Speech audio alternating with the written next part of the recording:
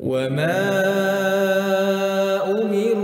أمروا إلا ليعبدوا الله مخلصين له الدين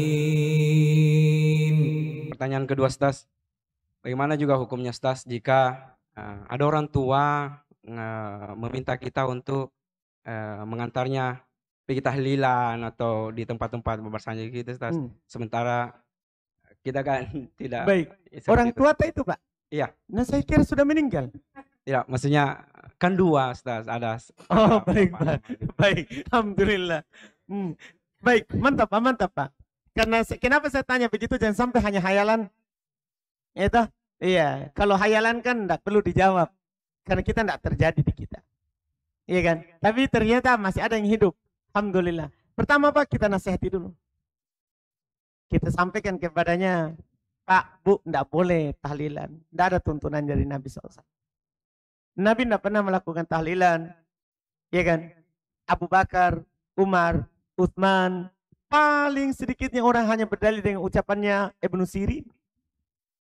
Ya, ada juga mengucap berdalil dengan ucapannya Atha bin Abi Robah, ucapan tabi'in bukan hujah.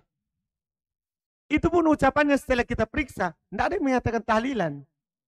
Dia cuman membaca tahlil, membaca la ilaha illallah, bukan tahlilan. Mereka pergi bilang tahlilan. Iya. Kita beramal untuk dia sampai kepada mayat itu yang mereka katakan. Kalau diperiksa, cuman mereka pergi buat hari pertama, hari kedua, hari ketiga, hari. Itu mereka yang buat.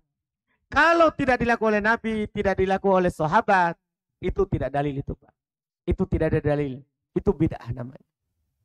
Bid'ah namanya. Kita nasihati, itu salah. Kalau tidak bisa dia tetap lakukan, ya kalau bisa menghindar, kita tidak antar, bagus. Bagus. Ya kan? Tapi kalau dia akan bunuh diri kalau kita tidak antar, antar saja dengan hati yang menghindari. Iya kan?